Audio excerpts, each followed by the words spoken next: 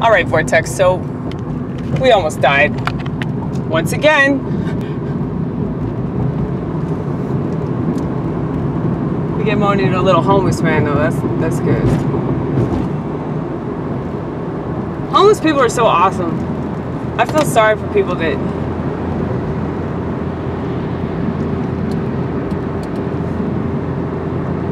they can't give to somebody in need.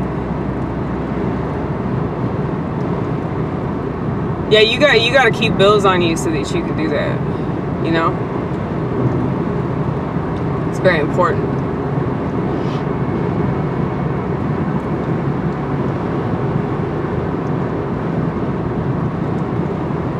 Yeah. no, but we we um we almost cut somebody off trying to get off the exit, and then somebody cut me off, but couldn't get mad about it because I know I'm driving screwy.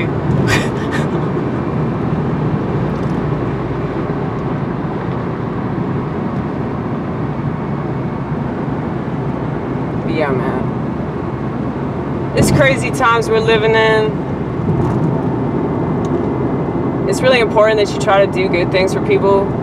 I've been seeing all kinds of just just nothing but hatred all over the internet. Nothing but selfish crappy crap, you know, every man for himself sort of bullshit.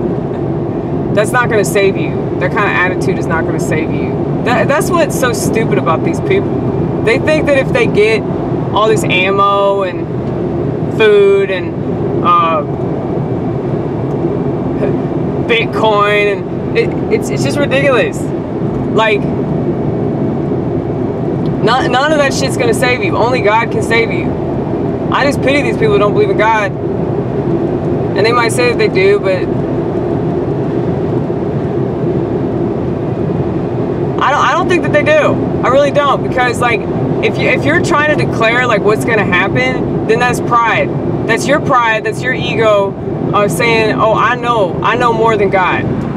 I know what's going to happen." This is the way that I'm interpreting this and so I'm putting this out there on the internet. I want everybody to know that this is what's going on. Fuck you, man. Like, I'm not gonna tell you you're gonna burn in hell or anything like that because I don't know that. I don't know that. Even if it says something like that in the scripture, like, it's not up to me. It ain't even up to that scripture, really. I mean, God decides.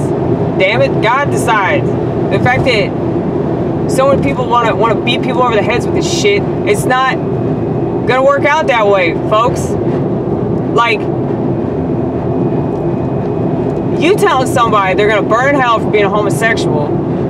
First of all, that's bad optics. You really think that people are gonna be like, oh, okay, I guess I'm gonna stop taking it up the butt, all because you told me that God thinks that homosexuality is an abomination. So, so therefore, I'm gonna act accordingly. You know, like people don't realize, you know, it's it's up to us to represent God in in the most loving way possible. And I don't think that what these people are doing is is anything close to that.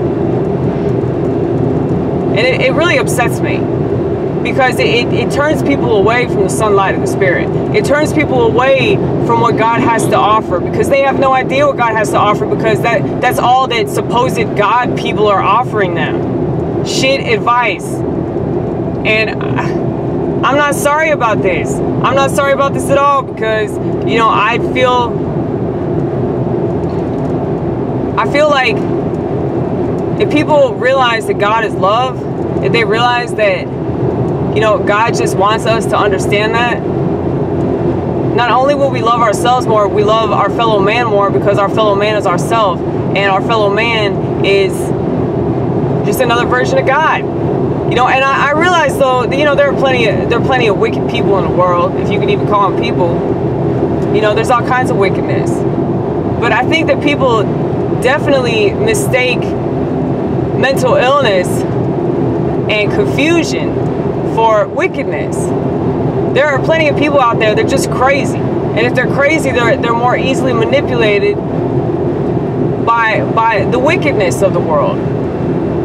And so you treating them like they're wicked when really they're just sick, you know, that's not gonna fix anything. That's not gonna solve any problems.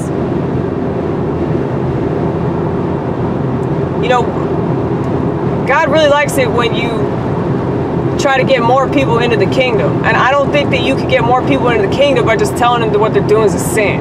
You know, I, I don't think that's the way to go about it. But, you know, who am I? What do I know? Maybe I'm just some stupid piece of shit. Um, you know, I'm very open to that idea too.